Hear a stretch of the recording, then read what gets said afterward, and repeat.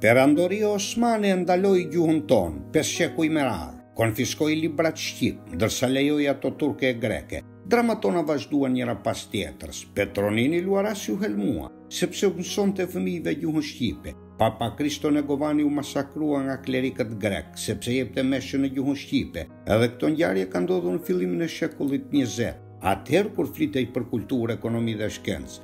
Gjithë kjo urrejtje e pashpjegueshme për gjuhën tonë hyjnore, shqiptari s'e ka ndarë asnjëherë pushkën nga dituria. Lidhja e Prizrenit do t'i paraprinte Kongresit të Manastirit. Martirët e gjuhës shqipe janë gdhendur në kujtesën historike me shkronja gjaku. Do sjellim në vëmendjen tuaj një kronikë të shkurtër të gjuhës tonë dhe do ndalojmë te dialekti i Elbasanit. Ishte viti një mijë e nëntëqind e gjashtëmbëdhjetë. Shqipëria ishte e pushtuar nga austriakët. Një grup personalitetesh dhe gjuhëtarësh mbarëshqiptarë dhe të huaj në Shkodër organizuan Komisinë Letrare për standardizimin e gjuhës shqipe. Ky komision bëri një punë të pastër shkencore. Mjafton të përmendet fakti se në të merrnin pjesë figura kombëtare të mirënjohura, si Gjergj Fishta, Luigj Gurakuqi, Ndre Mjeda dhe Mati Logoreci, nga veriu i Shqipërisë, Krahas personaliteteve nga Shqipëria e Mesme dhe jugu, si gjuhë e përbashkët u përzgjodh dialekti i Elbasanit, kur anëtari i vetëm elbasanas i komisionit ishte Aleksandër Xhuvani, në atë kohë vetëm 36 vjeçar. Të gjithë pranuan propozimin e Luigj Gurakuqit, që Elbasanishtja të shërbente si një urë mes dy dialekteve kryesore të Shqipes, gegnishtes dhe toskërishtes, Sepse kuptohej mirë dhe mund të përdorej më lehtë, si prej toskërishtfolësve ashtu edhe prej gegnishtfolësve. Por le t'i kthehemi historisë, shkëlqimit dhe rënies së elbasanishtes. Autori Shefqet Deliallisi ka qëmtuar me kujdes arkivat e kohës dhe rrjedhën e ngjarjeve. Sipas Deliallisit, intelektuali Faik Konica në shkrimin e tij Të zgjedhim toskërishten apo gegnishten në gazetën Albania në vitin një mijë e nëntëqind e pesë shkruan se Është një gjegjëthënë popullore në Shqipëri, turqishten e Stambollit, greqishten e Athinës, shqipen e Elbasanit. Ndërsa Luigj Gurakuqi, në fjalën e hapjes së shkollës normale të Elbasanit në vitin 1909, do të shprehej, Elbasani sikundër ashtë mesi i Shqypnijës landore, ashtë dhe do t'jetë edhe mesi i Shqypnijës mendore, do t'jetë truni, do t'jetë zemra e të gjithë shqyptarëve, Këtu katundsi dhe qytetari do të bashkëjetojnë e do të bahen nji. Këtu toska me gegën do të derdhen, do të treten, do të përzihen bashkë.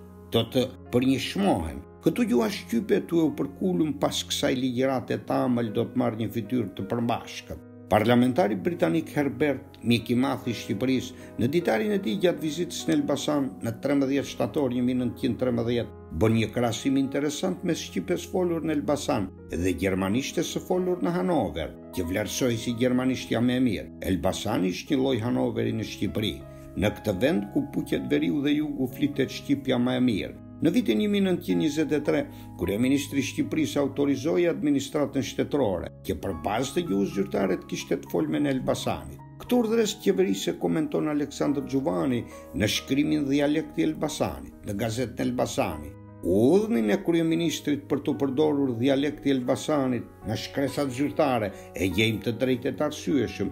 Ky vendim i kryeministrisë nuk ka asgjë arbitrare e pa vend, por nji punë që vërteton edhe shtien në veprim shumë vendime të përparshme të marruna prej kongresesh të ndryshme. që janë mbledhur në kohë të Turqisë për të rregulluar çështje të gjuhës e të arsimit tonë.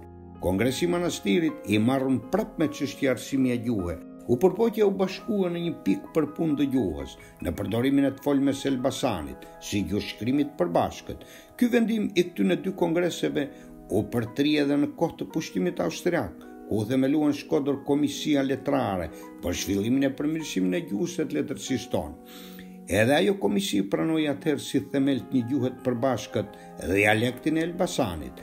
Veç këtyneve, ma të shumtë e dijetarëve të albanologëve janë prap të këtij mendimi, që dialekti i Elbasanit merret si bazë për një gjuhë shkrimi, por natyrisht i përmirësuem e i qëruem.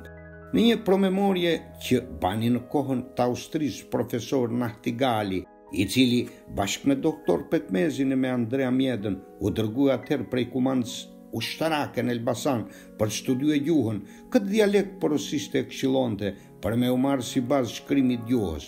Këtë gjë e kanë konstatue të gjithë ata që kanë pasun kohën të qëndrojnë pak kohë në Elbasan e të ndëgjojnë të folmen e këtij qyteti. Si fonetikisht, ashtu edhe morfologjikisht e syntaktisht, ky dialekt i përmbleth elementët prej dy dialekteve të tjerë, prej gegënishtes së sipërme e prej toskënishtes, e ashtë si një urë bashkimi në mes të këtyre dy dialekteve, sikurse ka ndodhur në gjuhët e tjera, kështu do të ngjajë edhe me këtë dialekt, në të cilin do të kullojnë e do të treten gjithë të mirat e dialekteve të tjerë, tue u njëzue ashpërsia e veriut me butësinë e jugut. Pra, vendimi i kryeministrisë si kurorëzimi i vendimeve i dëshirave të përparshme ashtë si thamë i drejtë e i arsyeshëm. Dialekti i Elbasanit konsiderohet përparësi i Elbasanit në momentin e caktimit të kryeqytetit të Shqipërisë në vitin një mijë e nëntëqind e njëzet e tre. Në një editorial të Gazetës Elbasani shkruhej, Elbasani në pikëpamje gjuhësore ashtë i vetmi qytet, i cili sikundër e lidh politikisht Shqipërinë e Veriut me atë të Jugut, ashtu e lidh edhe me gjuhë. Në këtë mënyrë dialekti i Elbasanit tash trait d'union i dialekteve të gegnishtes e toskënishtes. Për këtë arsye, në kohën e Turqisë, më 1909, Kongresi arsimuer u mbluedh në Elbasan dhe vendosi hapjen e shkollës normale, të atëhershme. Po këtu në Elbasan, e cila prej asaj kohe ishte instituti më i naltë i rilindjes kombëtare. Gjithashtu, po për këtë arsye, komisioni arsimuer në kohën e okupacionit austriak Pat pranue dialektin e Elbasanit, si për gjuhë zyrtare të Shqipnies. Tashti së voni edhe Ministri e Arsimit që prej vitit një mijë e nëntëqind e njëzet, po këtë dialekt ka pranue e përdor gjer më sot si për gjuhë zyrtare të Shtetit. Edhe Ethem Haxhiademi në një intervistë dhënë gazetës Tomori në vitin një mijë e nëntëqind e dyzet, thekson se dialekti i Elbasanit është bashkimi natyral i dy dialekteve të mëdhenj. Toskërishtes dhe gegnishtes. Në pikëpamje morfologjike dialekti i Elbasanit është toskërisht dhe në pikëpamje fonetike është gegnisht. Në prill të vitit 1940, në kuvendin e parë albanologjik të Institutit të Studimeve në Tiranë, Mustafa Kruja, një nga gjuhëtarët më të shquar, vazhdoi të mbështesë të folmen e Elbasanit, si bazë për gjuhën standarde shqipe, dhe më pas erdhi përmbysja e madhe, që filloi në vitin 1946. arbitrarisht. Ministria e Informacionit dhe Propagandës, drejtuar nga Sejfulla Malëshova, urdhëroi mosrespektimin e gjuhës zyrtare. Gjithçka duhet të shkruhej toskërisht. Ministri i Arsimit pasoi me urdhrin që edhe abetarja të shkruhej toskërisht. Ministri i Arsimit pastaj vazhdoi edhe më tej. Ky veprim u kundërshtua fort nga profesor Aleksandër Xhuvani, me të u bashkua edhe profesori tjetër Eqrem Çabej. Ajo që të habit në gjithë këtë histori, është fakti se në Kongresin e Drejtshkrimit të vitit 72, Elbasanishtja si një dialekt kompromisi mes toskërishtes dhe gegnishtes u injorua plotësisht. Si mendoni ju, mos vallë ka ardhur koha të rikthehemi te dialekti i Elbasanit?